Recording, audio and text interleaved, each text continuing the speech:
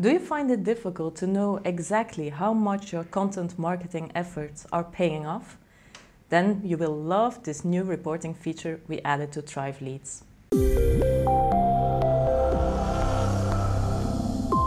Hi, my name is Hannah from Thrive Themes and in this video I'm going to show you how you can track your content marketing efforts. You've probably already heard that content marketing can help you grow your business, but how can you track exactly if your content marketing efforts are actually paying off?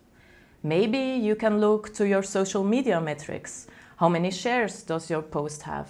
But social media shares are not really saying anything about the growth of your business and it can be a little bit flaky. A second metric you could look at are the number of comments you are getting per post. But then again, this doesn't really show you how much revenue you are getting or how much your business is actually growing. A better metric to follow are the leads that you are getting from each content piece.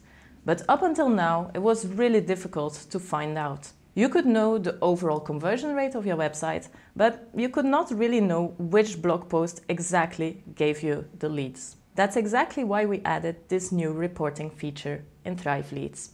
Let me show you. In the Thrive Leads plugin, you can choose Reporting. Here you can choose one of the different reports, and the one that I want to show you is the Content Marketing Report.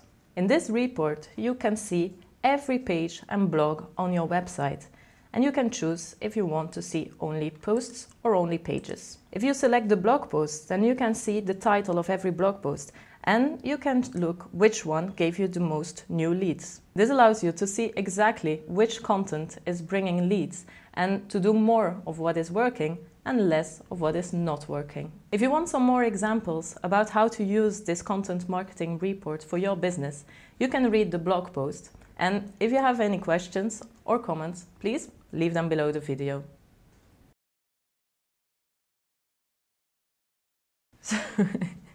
Random question. Would you rather be one meter tall or three and why? I guess I would rather be three meters tall because if I was only one meter tall then nobody would notice me and I would be like the height of all the armpits which would be really uncomfortable.